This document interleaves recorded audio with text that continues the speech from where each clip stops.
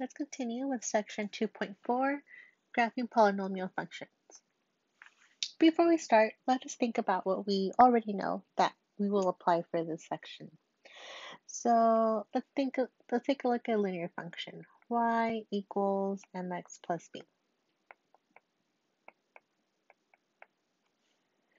And we have a graph. It usually looks like a line, right? So our graph can go either up or down, something like that.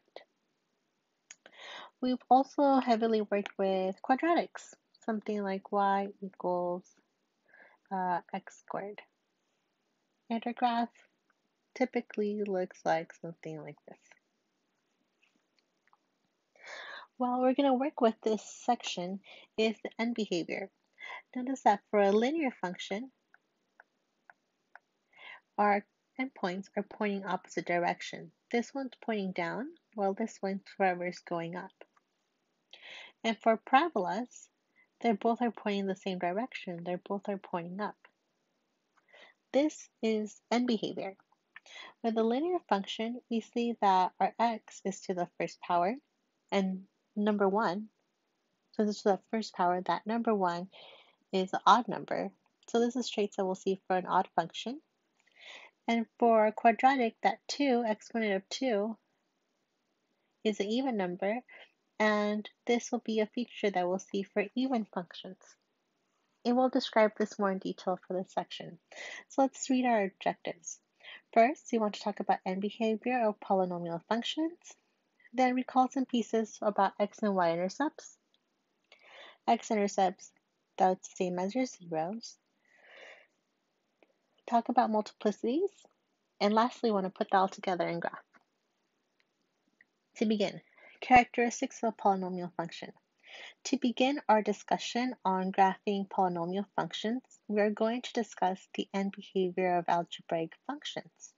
To describe end behavior, we must use notation from the following chart. So we have an x, x on a line with a negative infinity. We read that as x approaching negative infinity. And that is when on your line, you're looking at the numbers that are left, your x's that are negative. Next line, I have x arrow infinity. We read this as x approaches infinity, and that's the right end of the graph, so the right side for x values. Next we have f of x arrow negative infinity. We read this as f of x approaches negative infinity. And this is direction of your graph. So when your graph is pointed downward. And then we have next row, f of x arrow infinity. We read this as f of x approaches infinity. And that's a graph when it's pointing downward or going downward. We have previously studied linear and quadratic functions without mentioning the words end behavior, but the end behavior was always controlled by the leading coefficient. Linear functions with degree 1 can always be written in the form f of x equals mx plus b, where the leading coefficient, the slope, is either positive or negative. So here we, we have two graphs. Let's focus on the first one. We have g of x equals 4x minus 6. And we have two different things going on. We have our arrows here and here. So here we have our leftmost side of our graph. And we see that it's pointing downward. And then we also have our rightmost part of the graph. And it's pointing upward. So this is how we would see it and interpret it in English using what we see. We're going to next talk about the notation. So if we read, if we continue reading, using our notation, the end behavior for g of x equals 4x minus 6, which is our graph above, the linear function of degree 1 with a positive coefficient can be described as follows f of x equals negative infinity as g of x equals negative infinity. And what that's referring to is this part right here. This leftmost part, that is your x as it's approaching negative infinity because it's for the negative values. And it's pointing downward. So we say that g of x is approaching negative infinity. Now the next line says, as x is approaching positive infinity, g of x is approaching positive infinity. So say for our rightmost part, as x is approaching positive infinity, because these are the x values are getting higher, our graph is pointing upward. So our graph, which we labeled g of x, is going upward. So it's going to positive infinity. So this is how we directly can translate these phrases from English to our math notation. So let's take a look at our next graph. Let's focus on the endpoints. So we have our arrows here and here. Let's first write in English so we can easily translate it. So we see that this leftmost part is for our x values as they're getting smaller, so negative infinity. So this is for our leftmost side, and we see that our graph is going to continue going upward.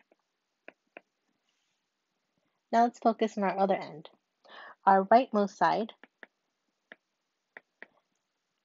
and this is focusing on the sides that are getting bigger for x. As x gets bigger, we see that our arrow is going down more.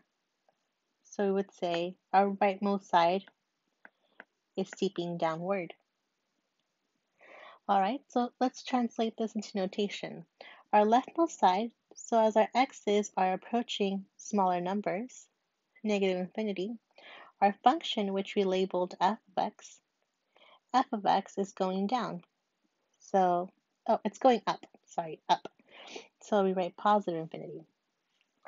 Now on the other endpoint, our rightmost side, so as our x values are getting bigger, our function, which we labeled f of x, is going downward, so negative infinity. I hope this helps you keep this idea handy, especially with this notation since I know it's new. That's what we want to see. Though if you write left up or leftmost point going upward or rightmost point going downward, I'll know what you mean. You have to be familiar with this notation and write the notation. Now let's take a look at parabolas. We must realize that this will be the end behavior of every line with a negative slope and a leading coefficient. This will continue to be true for every polynomial of odd degree and a negative coefficient. Now let's consider parabolas from section 1.3. So let's take a look at this first graph. If we focus on the end behavior, we can write a summary, right? Like our leftmost point is going up and our rightmost point is going up. So we can translate it as x is approaching negative infinity. Our function, which is labeled f of x, f of x is approaching positive infinity. And we don't have to write the positive, we can just write infinity. And for the other endpoint, our rightmost point pointing upward, we can write it as x is approaching infinity, f of x is approaching infinity both being positive. Now, keep in mind that our leading coefficient, it was positive, right? So the lack of a negative lets us know it's positive, and that's a big hint to let us know that our graph opens upward. Similar to our next graph. Now let's take a look at g of x. I start with a negative. So because I have a negative, I know that my graph opens downward. And I know that there'll be two arrows pointing down. And that's an important feature of our end behavior. So for this, we would say that as x is approaching negative infinity, our function, which is f of x, is approaching negative infinity. And as x is approaching positive infinity, our function f of x is approaching negative infinity. Oh, that was g of x. So g, not f.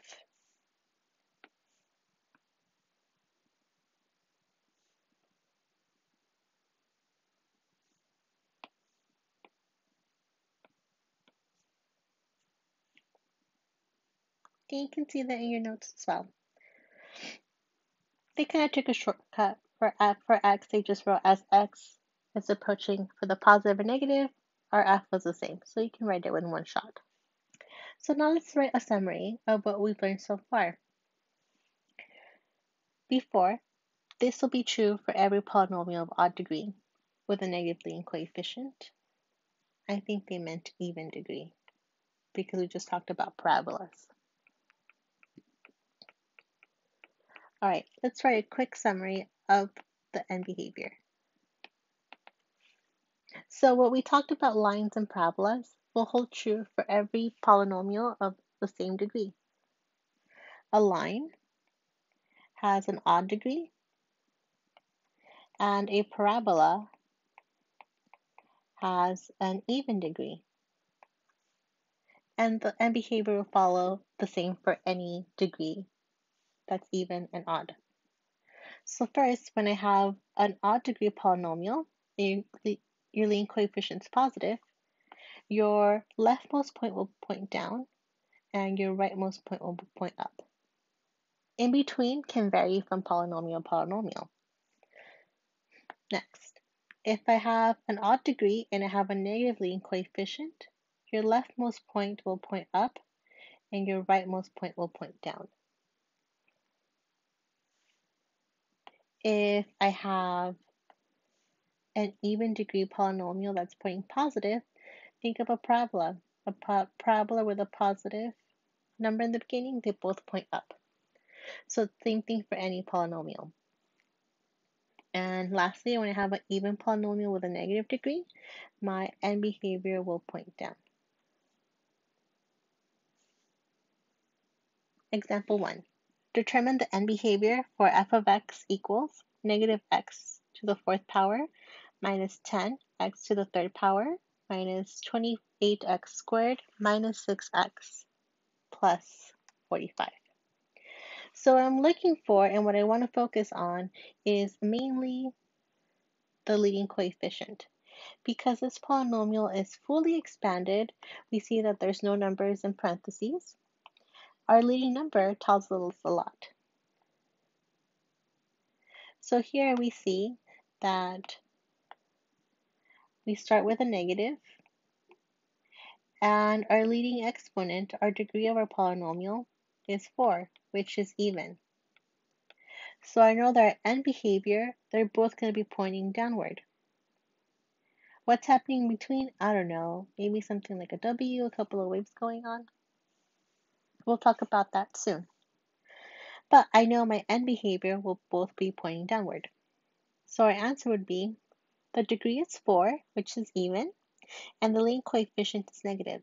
So the end behavior can be described in the same manner as a parabola opening downward.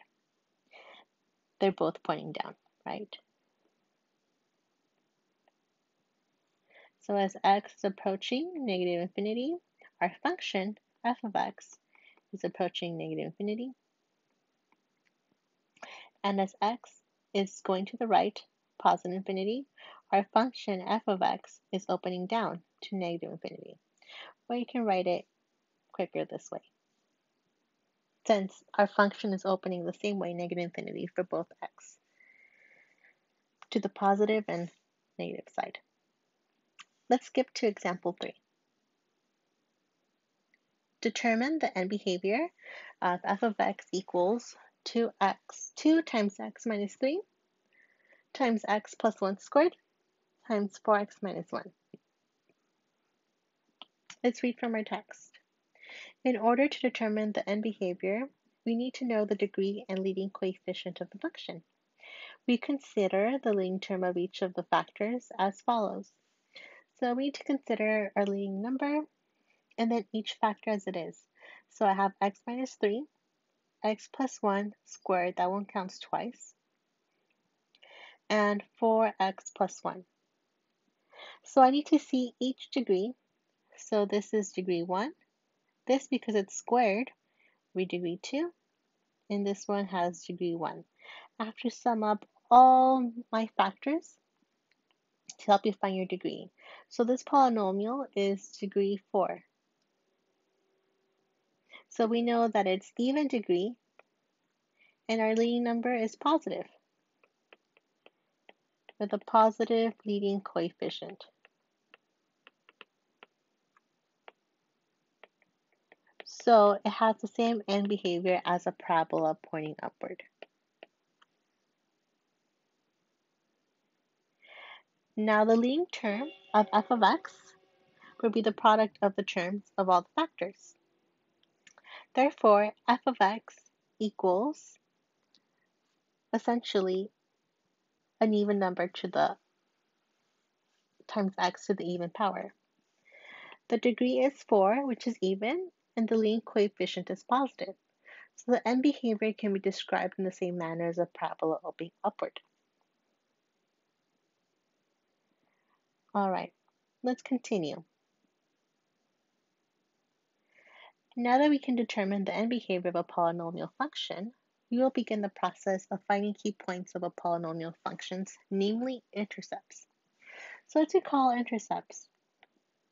To find our x-intercept, which are points that cross our x-axis, we have to go ahead and let our other letter be 0. So let y equal 0. To find our y-intercept, we have to let our other uh, letter be 0, so let x equal 0. And this will give you points that will cross your x-axis, which is a line that goes left and right, and our y-axis, which is a line that goes up and down. We're going to continue with the same four examples in which we discussed the end behavior, but now we'll continue to determine the y-intercept. Just as a linear quadratic function, finding the y-intercept requires letting x, letting x equal 0. So let's do example 1.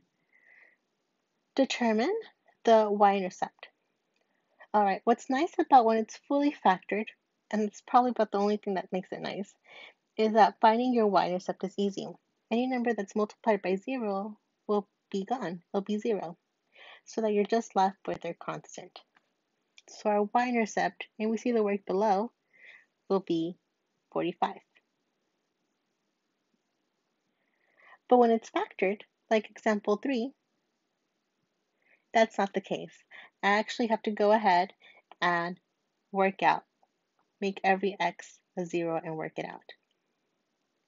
So we see the work, and you can take the time to calculate it. You get a y-intercept of 6. So our y-intercept is 0, comma 6. All right, now let's go ahead and find the x-intercepts.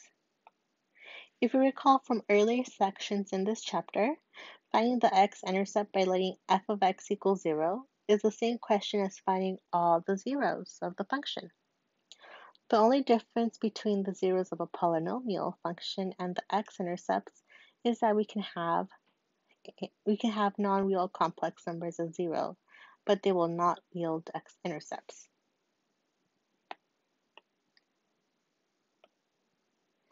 Only real numbers will be x-intercepts. Now the word real, it's not talking about fake versus real. Real means numbers that are negative, positive, zero. They can be whole numbers, fractions, decimals. Those are real numbers. Now complex numbers, like 2 plus 3i, or just 3i, they do not produce a point that's an intercept. They're still a zero, but they're an imaginary zero. Mainly because we have our Cartesian plane and we have x values and y values. They're positive and negative and everything in between, but nowhere are there i's. There's no i values. So that's what makes them not a plottable point. All right, example one. So section 2.3 is very handy. For example 1, we have a polynomial that cannot be factored. So we have to go ahead and start by using our rational zeros theorem and create a list of possible factors. All right, now we can test each one using synthetic division. And remember, your goal is to get zero as the last number. Okay, let's go ahead and start with one. One produces a zero remainder. So that means it evenly divides our polynomial. So we have now broken down our polynomial to have x equals negative or x minus 1. Yes, I know we have a positive one, but we write it in parentheses as x minus 1 because this distinctly means x equals 1. And if we work it backwards, we get x equal x minus 1. And then our answer has produced a part of our answer. So this is negative x cubed minus 11x squared minus 39x minus 45. All right, we conti continue with synthetic division using our reduced form. We try negative 1, which does not produce a 0. We continue with negative 3, and we get a 0. So now we know from the very beginning one, which is no longer on my screen, I have x minus 1. Now we have x plus 3. Remember the sign changes when we write it back in parentheses. And this gives us negative x squared minus 8x minus 15. Okay, now we reached a quadratic. What's nice about a quadratic is I can try to factor or use quadratic formula. We can also, since we have that leading negative, I can factor it out to have x minus 1, x plus 3. Let's write that negative that we're going to factor and change the signs. x squared plus 8x plus 15 and try to factor. And we see that this fully factors to be here. Negative x minus 1 times x plus 3, and our quadratic factor to be x plus 3 times x plus 5. We see that our x plus 3's, those repeated, so we can write them together with the exponent square. Now let's talk multiplicity. So, this x minus 1 has an exponent of 1, so this one has a multiplicity of 1. This x plus 3 has a square, so this one has a multiplicity of 2. And x plus 5 only repeats once, so we have a multiplicity of 1. So we can set them at equal to 0, which we have here, and label each multiplicity. So we have x equals 1 with a multiplicity of 1, x equals negative 3 with a multiplicity of 2, and x equals negative 5 with a multiplicity of 1. So just to make sure we're on the right track, I'll do one of them. So we have x minus 1, we set it equal to 0, and we solve for x. We add 1 to both sides, get x equals 1. Because this only repeated once, we say it has a multiplicity of 1. And that's what we have right here. All right, let's move forward.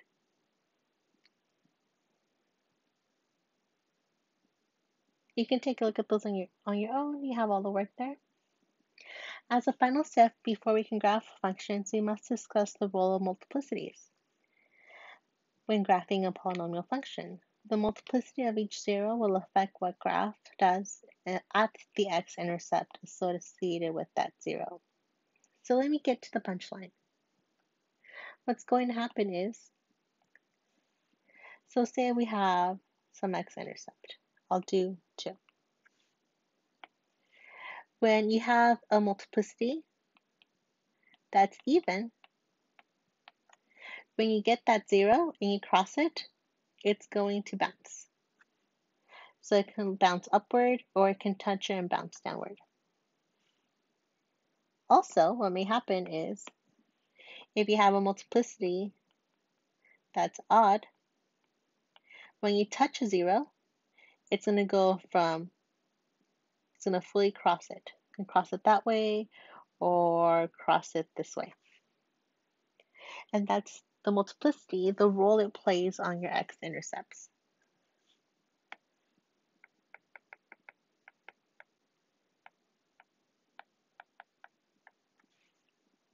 So when it's even, I'd like to think of it as um, touching or bouncing off the x-intercept.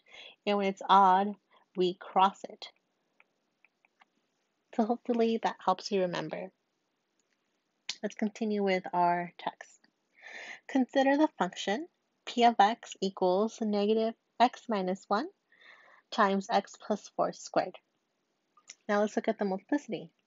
This one has a multiplicity of 1, and because it has a square, it has a multiplicity of 2.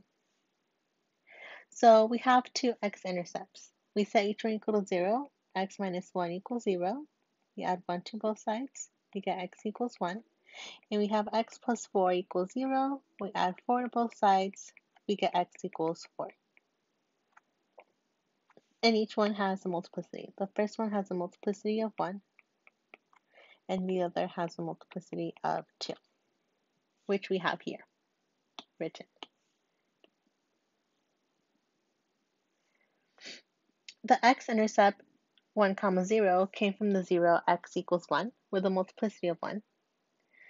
Let's see what happens to our function near the x-intercept of 1 comma 0, specifically with the sign of our function values.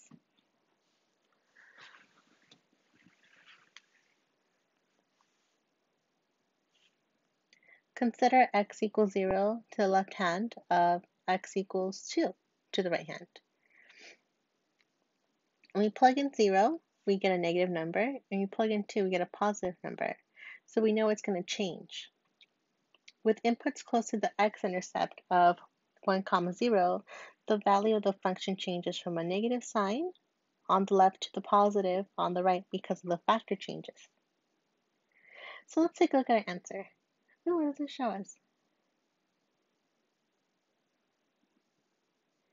So it's showing, it's trying to emphasize that when we have the zero at one, it's going to go from zero, which was negative, to two, which is positive. So, so it shows that at this value, it crosses from the negative side to the positive side. And this shows that for 4,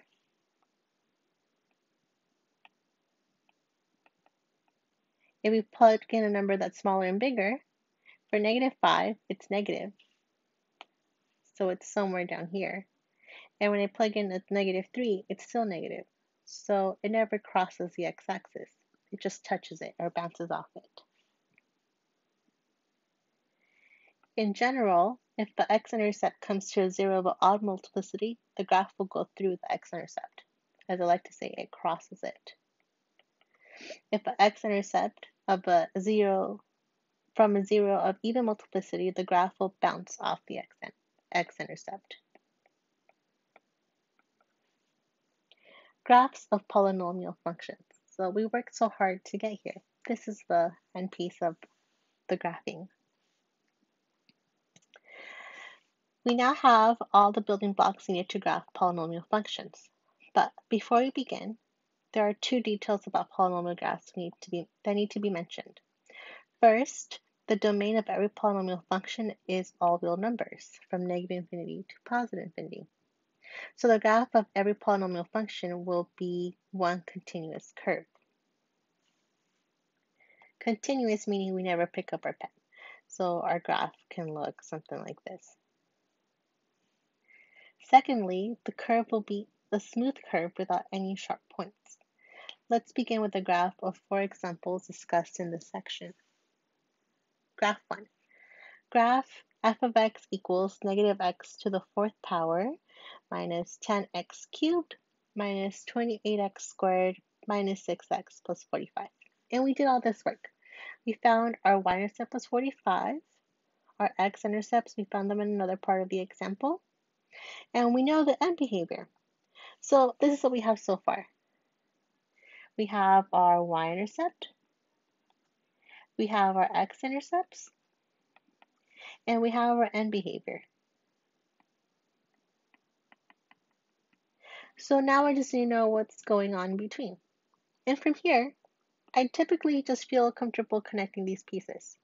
So I have to label the multiplicity to know what's going on. I know negative, uh, negative 5 has a multiplicity of 1. So I know it's going to cross. Let's write a note to note to cross. At negative 3, we see it has a multiplicity of 2, so I know it's going to bounce. And at 1, it has a multiplicity of 1, so I know it's going to cross. All right, let's begin graphing with that green and um, helpful hint. So I can start from the left left endpoint. When I get to my x-intercept, I know I'm going to cross it. And I have to go back down to 3 when I will bounce off. And then cross my other point. So that's a rough sketch. Let's try it again and make sure we include our, our y-intercept. So we're going across, bounce, make sure to touch your y-intercept, and cross again. That's a quick sketch of our graph. Now we can draw the graph function from the left to right using multiplicities. The graph goes through the x-intercept at negative 5, bounces off at negative 3, and includes the y-intercept, and lastly crosses off 1. So that's our answer, our official answer, which is really close to our sketch, which makes me very happy. So let's make an outline of what you need to do to graph. You first want to know your end behavior. Write a note of that. Second, you want to find your x and y intercepts.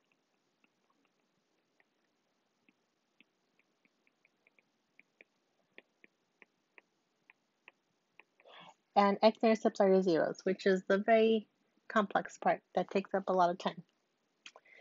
And lastly, you want to make a list of your multiplicities. Meaning, does it cross? Does it bounce off that zero? That's important. And once you have all those pieces, you can go ahead and put them together to connect your graph.